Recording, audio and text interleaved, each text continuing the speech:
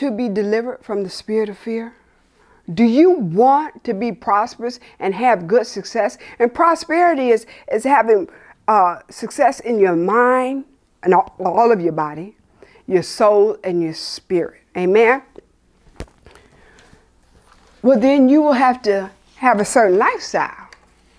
Okay? You, you may need to change your lifestyle. The first thing you will need to do is to invite Lord Jesus into your life. You need Lord Jesus into your heart and into your life. You will need to read and study your Bible. Now, Lord Jesus is the Word of God. Okay? The Word of God was made flesh and came on the earth. And men, inspired by the scriptures, wrote the Bible, which is the Word of God. So they're one and the same. Before you read and study your Bible, pray and ask the Lord for help. I do that. I'm like, this is what I say Lord, help me to understand your word. And, and I say that, I pray that before I read. And Daddy God, He helps me. I don't always get everything immediately, but over time, He gives me answers. In the beginning was the Word, and the Word was with God, and the Word was God. The same was in the beginning with God. We're talking about Jesus here. And the Word was made flesh and dwelt among us, and we beheld his glory. Hallelujah, hallelujah, hallelujah. So, what I'm saying is, Kings, you have to get the Word of God in your mouth. It has to become part of you, it has to be so part of you. It's like skin over flesh. Okay? you have to have his word in you to the point where certain situations come up, you got a scripture that you can call on and verbalize to, to counter or encounter that situation. I can do all things through Christ which strengthens me. Okay? Whenever I, my peace gets a little distorted, I said, He will keep him in perfect peace whose mind is stayed on thee because he trusts thee. And then I can, you know, I repeat that scripture and then I can get myself back together real quick. Amen? Because I, i repeat it, then I'll do it. Okay, my focus is on him. Keep my mind on him. So what I'm saying is you have to have God's word in you. And the only way to get it in you is to read it and to meditate on it and repeat it. You gotta, you you literally have to say things out loud. Amen. Amen. Amen. So you need to get Jesus into your life. Holiness will be a part of you because our dad is holy. So there's some things you you know you'll clean up. You you know, and guess what? It's not hard. It's not hard to be holy. Because as you read daddy's word and you study his word and talk to him about his word, you know, Dad, I don't understand this. You know, I read this. I, that's what I do. I said, Lord, now I don't understand this. And He gives me understanding. Sometimes He will allow a situation to happen, and I'll like, I'll be like, oh yeah, okay. Or sometimes I'll have a dream, and I'll have, or I've had situations, I've had questions with Father God, and He has answered my question within the week. Something would happen. That's how close we are. Hallelujah. I love you. I love you, Lord. Glory. So, Daddy is, he's very attentive. And if you think that Father God is not paying you attention, spend a little bit more time with him and you'll notice that he'll read your thoughts. Amen. Amen. Amen. He's very attentive. Hallelujah. Hallelujah. So, again, we have to do what Joshua did, which is meditate on the word of God and don't let it depart out of our mouths. Amen? Amen. His word will make you strong. And then you'll be able to, to withstand the attacks of the devil. You will be able to put on the whole armor of God And instead of being on defense, when he comes toward you, you'll be on offense and you'll get him running. Hallelujah. I like that. I like that. Hallelujah. Glory, glory, glory. Hallelujah. Amen. Amen. Amen.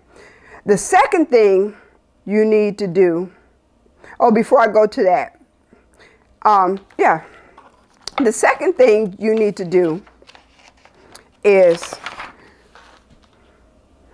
you have to speak to that demon. I said you have to speak to that demon. You have to tell that demon that it cannot stay. You have to command it to leave. Now, you may say, now, Latina, why do I have to do all that? Because demons cannot read your mind. Oh, they can throw thoughts, their thoughts, and guess what? They do. And they hope that you verbalize them. Do you hear me? They love to throw their thoughts into your mind. They pretend to be you. They mimic your voice. So if you're not really careful, you'll think that it's you thinking that. Uh-huh. Uh-huh. Because they mimic you. And they hope, again, they hope, they, they want you to say whatever thought they put in your mind because then you give them power for your future. Did you hear me? Words are the vessels that Father God used to make everything. Amen. Father God spoke the world into existence, and everything He said, we see. You have that same power within your mouth. If you're not careful, you'll use the devil's words to plan your future. Do you understand me? So, in order to stop him, you have to speak to him and tell him that he has to leave in Jesus' name. That's what Jesus did. Every demon that Jesus cast out, he spoke to. He didn't just think it, he spoke to them. Even in the wilderness, when the devil approached Jesus, Jesus told him, It is written. He quoted scriptures to him. That's why you have to have the word of God in your mouth so you can counter him and put him in checkmate. Do you hear me? Am I clear? All right. So you have to speak to these demons, okay? But before you do that, you got to have Jesus in your heart and you have to know what you're doing. Jesus told us something that was very important, and it's imperative that you understand this. Jesus told us in Matthew 12 43, this is what he said When an unclean spirit is gone out of a man, he walketh through dry places, seeking rest, and findeth none. Then he saith, I will return to my house from whence I came out. And when he is come, he findeth it empty, swept, and garnished.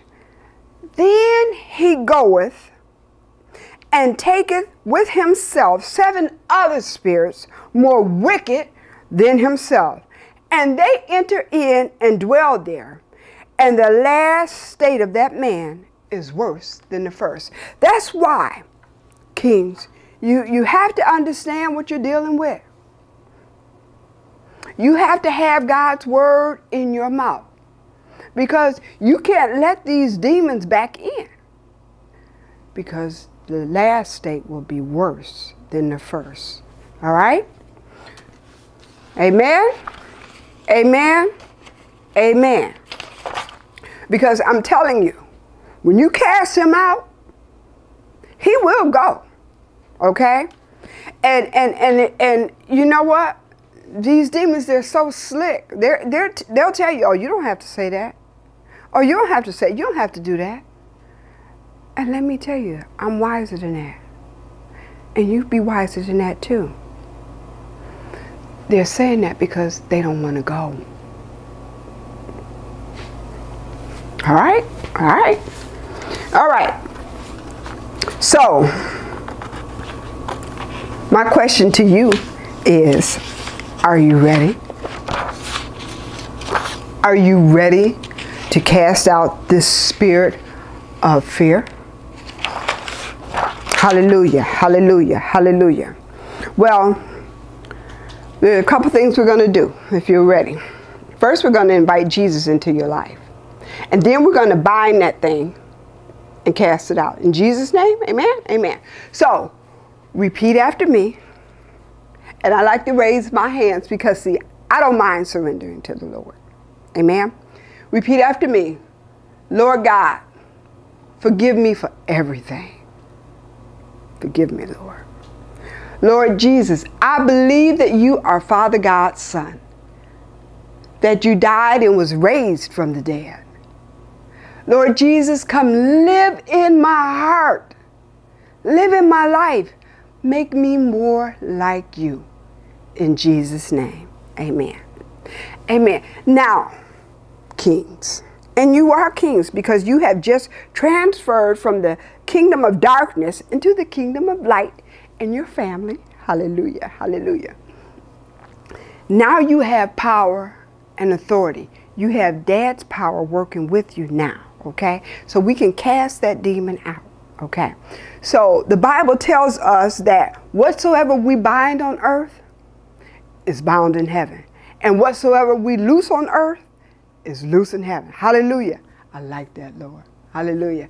So we're going to cast out, we're going to bind and we're going to cast out that spirit of fear. So again, repeat after me. In the name of Jesus, I bind you, spirit of fear, and I command that you get out of my life right now and forever. And I loose, Lord God, in the name of Jesus, the spirit of power and of love and a sound mind. Jesus, come live in me. Work with me, Father God, in Jesus' name. And it is so. And it is so. And it is so. All right. So you are free. If you did that, if you received Jesus with a sincere heart, and you, you said those two prayers, you're free. Hallelujah. Glory. Hallelujah. Hallelujah. Get involved with a word based church. Get around like minded Christian people, people who are living the word. Amen, amen, amen. Read and study your Bible, like I told you. Pray and read that. Read it. Read it. Stay up. Look, when you start reading your Bible and you're really sincere, the phone is going to ring. Somebody's going to come to the door. You're going to get interrupted. All kind of things are going to happen. And that's just to confirm to you that you're on the right page, you're doing the right thing, and the adversary, Satan, the devil, and his demons don't want you to know because as long as you stay ignorant, they win. So read your Bible. Find a way to read your Bible, study your Bible, talk to Daddy God about your Bible and come back here and visit me. You can find me on Facebook. You can find me on Twitter. And um, I have an excellent book for you. It's on Amazon.com. It's called Messages from God. Oh, little spider web. Messages from God. Experiencing and understanding the supernatural. Read my book.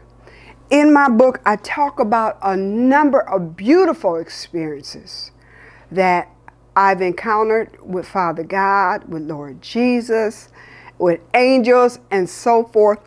And it will help you. It will help you. I'm telling you, it will help you. All right, well, my name is Latina Cates. I love you so very much. And I'll see you next time.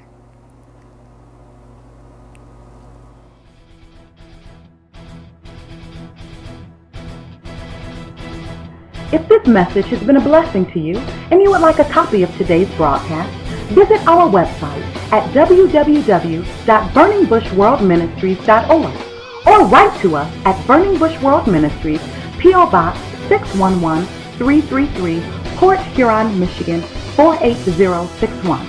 Or you can write us via email at burningbushworldministries at gmail.com. You can find Latina Cates and Burning Bush World Ministries on Facebook, and you can follow Latina Cates on Twitter. Thank you so much for joining us, and we will see you next week.